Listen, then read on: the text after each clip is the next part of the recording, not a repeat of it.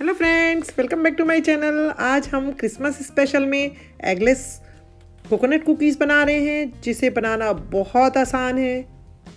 इस वीडियो में हमने कुकीज़ को विदाउट अवन यानी कुकर में भी बेक करके बताया है और अवन में भी बेक करना बताया है। तो ये वीडियो आप लास्ट तक ज़रूर देखें। ये जो कुकीज़ देख रहे हैं, ये हमने कुकर में बेक किया है। तो चलिए बनाते हैं कोकोनट कुकीज़ अगर आप मेरे चैनल पर फ़र्स्ट टाइम विज़िट कर रहे हैं तो मेरे चैनल को सब्सक्राइब कर दीजिए और बेल आइकन ज़रूर से प्रेस कीजिए, क्योंकि जब भी मेरा न्यू वीडियो आएगा, आपके पास नोटिफिकेशन पहुँच जाएगा, जो एकदम फ्री है। ये कोकोनट कुकीज़ के इंग्रेडिएंट हैं, आप इन्हें फॉलो कीजिए। हमने एक कप मैदा ले लिया है और हाफ़ टी स्पून हम बेकिंग पाउडर इसमें ऐड करेंगे और इसको हम सीव कर लेंगे।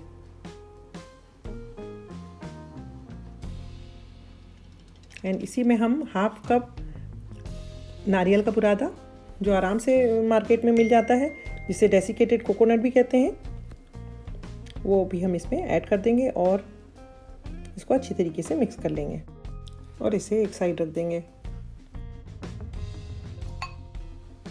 तो यहाँ हमने एक बाउल ले लिया है और इसमें हाफ़ कप से थोड़ा कम हम पाउडर शुगर लेंगे। आप शुगर अपने टेस्ट के हिसाब से कम ज़्यादा कर सकते हैं। और यहाँ हमने 50 ग्राम के करीब बटर लिया है, जो रूम टेम्परेचर का है।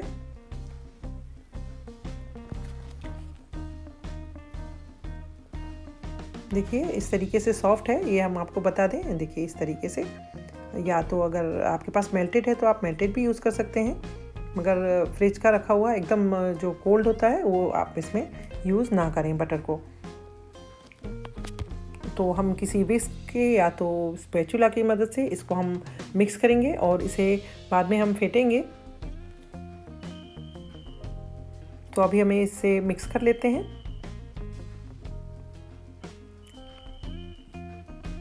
और हमें इसे इतना फेंटना है कि ये एक अच्छा सा क्रीमी सा स्मूथ सा, एक पेस्ट सा तैयार हो जाए।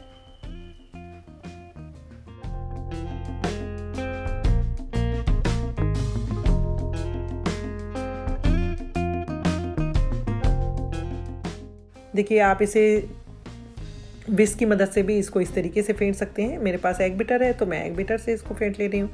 तो इसी तरीके से हमें तब तक इसको फेंटना है जब तक ये अच्छा क्रीमी और फ्लफ़ी सा ना हो जाए। एग बिटर से पाँच से सात मिनट में ये आराम से तैयार हो जाता है। तो देखिए, ये बैटर कितना अच्छा सा फ्लफ़ी सा हो गया है। हमारा बटर का कलर भी चेंज हो गया है। तो ये हमारा रेडी हो गया है? इसका आगे का प्रोसेस करेंगे अब।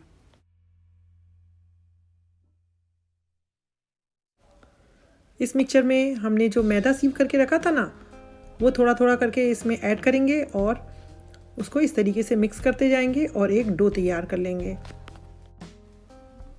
अगर आप ये कुकीज़ बनाएँ तो जो हमने मेज़रमेंट बताएँ, आप उसके हिसाब से बनाएँगे। तो बिल्कुल हमारी तरह कुकीज़ बनेगी। जैसी एकदम लाइट वेट और बाहर से क्रंची अंदर से थोड़ी सी सौगी और बहुत ज़्यादा टेस्टी तो आप इस रेसिपी को ज़रूर ट्राई करें, बहुत इजी है। और इसे हमने कुकर में भी बेक करना बताया है। हमने थोड़ा मिल्क ले लिया है। इसे हम एक साथ नहीं डालेंगे। हम स्पून की मदद से थोड़ा थोड़ा करके डाल के और उसका डो तैयार करेंगे। हमें बेसिकली सॉफ्ट डो ही तैयार करना है। तो ये हमने अभी तक थ्री स्पून मिल्क डाल लिया है।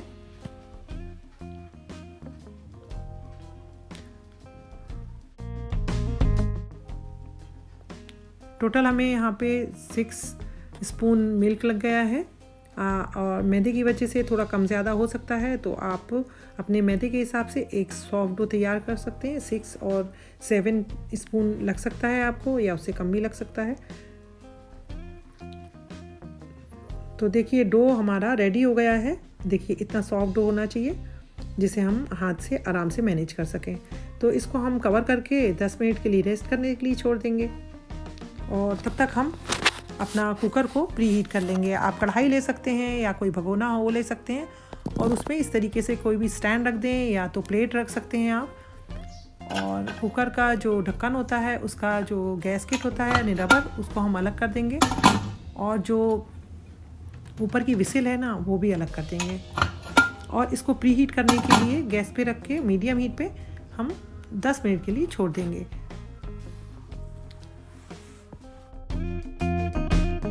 ये ये बेकिंग टिन है।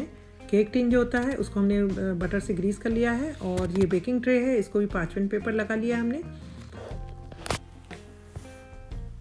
तो हमारे 10 से 15 मिनट हो गए हैं और हम अब इस डो के कुकीज़ तैयार करेंगे। हमने डो के 16 पेड़े तैयार कर लिए हैं और इस तरीके से हम कुकीज़ तैयार करेंगे। हाथों में लेके, हथेली के बीच में रख के उसे देखिए ऐसे रोल रोल करें और कुकीज़ हमारी रेडी हो जाएगी। थोड़ा सा फिंगर से इसको प्रेस कर दें। एक और हम बना देते हैं। तो देखिए, इस तरीके से रोल रोल करेंगे। और इस तरीके से फिंगर से उसको थोड़ा सा प्रेस कर देंगे और एजेस को ऐसे क्लीन कर लेंगे। तो ये हमारी कुकीज़ तैयार हो रही हैं और हम इन्हें साइड में रखते जाएँगे। हमने यहाँ पर हाफ़ कप डेसिकेटेड कोकोनट जो होता है, नारियल का बुरादा वो हम लेंगे और उस रोलिंग के लिए वो काम आएगा। तो देखिए, इस तरीके से हम कुकीज़ उठाएँगे और इस तरीके से उसको कोकोनट के बुरादे में, यानी डेसिकेटेड कोकोनट में हम ऐसा रोल कर देंगे और देखिए हमारी कुकीज़ तैयार है तो हम इसे बेकिंग ट्रे में रख देते हैं। इसी तरह से सारी कुकीज़ को हम से रोल कर लेंगे और बेकिंग ट्रे में प्लेस करते जाएँगे। सभी कुकीज़ हमने रेडी कर लिया है। सबसे पहले हम कुकर में बेक कर लेते हैं। तो देखिए कुकर प्री हीट हो चुका है हमारा। और हमने देखिए बेकिंग टिन में ये जो हमारी कुकीज़ है, इसको प्लेस कर दिए हैं। आप किसी स्टील की प्लेट में या एल्यूमिनियम की प्लेट में भी इसे बेक कर सकते हैं। और देखिए हमने कुकीज़ के बीच में थोड़ा गैप रखा है। आप भी इसी तरीके से रखिए क्योंकि बेक होने के बाद में ये थोड़ा स्पेंड होती हैं। तो हमने इसे कुकर को कवर कर दिया है। गैस की फ्लेम लो मीडियम हीट कर देंगे और इसे 20 से 25 मिनट के लिए हम बेक करेंगे। और बीच में हम इसे एक बार चेक करेंगे।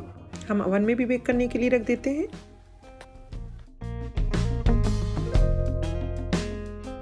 अवन को पहले 10 मिनट के लिए हमने 180 डिग्री पे प्रीहीट किया। और 180 डिग्री पे ही हम इसे बेक करेंगे 20 मिनट्स के लिए। तो चलिए हम कुकर वाली कुकीज़ को चेक कर लेते हैं। तो हमने कुकर खोल लिया है और देखिए, ये हम नीचे से पलट के देख लेते हैं। देखिए, इतना अच्छा सा कलर आ गया है। 10 से 12 मिनट हुआ है अभी। तो हम इसे पलट देंगे सभी कुकीज़ को ताकि वो जो ऊपर वाला हिस्सा है, वो भी ब्राउन हो जाए उसका। इस तरीके से। और हम कुकर बंद कर देंगे और वापस वैसे ही लो मीडियम हीट पे हम इसको बेक करेंगे। तो सात से आठ मिनट के बाद भी हम एक बार और चेक कर लेंगे। तो देखिए टेन मिनट्स में हमारा दूसरे तरफ़ से भी इसका कलर बहुत ही अच्छा आ गया है। मतलब हमारी कुकीज़ बेक हो गई हैं। अब हम इसे एक कूलिंग रैक में रख देंगे और ठंडा होने के लिए इसे छोड़ देंगे। और ठंडा हो जाएगा तो फिर एक एयर टाइट कंटेनर में रख के इसको 15 डेज़ तक आप आराम से इंजॉय कर सकते हैं। तो कुकर में बेक होने के लिए कुकिंग टाइम हमें 22 मिनट्स लगे।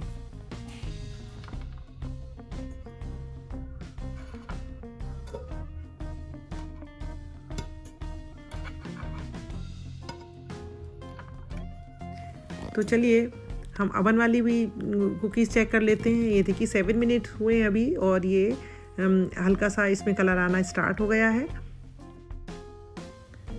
तो एट मिनट्स और लगे, यानी टोटल टाइम हमारा सिक्सटीन मिनट्स लगे इसको बेक होने में। और देखिए, कितना अच्छा सा कलर आ गया है। तो आपके अवन में कम और ज़्यादा टाइम लग सकता है। तो आपको इसे नज़र रखना होगा ताकि गोल्डन हो और हम इसे निकाल लें। तो इन कुकीज़ को ठंडा करने के बाद में एक एयर टाइट कंटेनर में आप 15 से 20 दिन तक रख कर इन्जॉय कर सकते हैं। तो आपको ये मेरी रेसिपी कैसी लगी?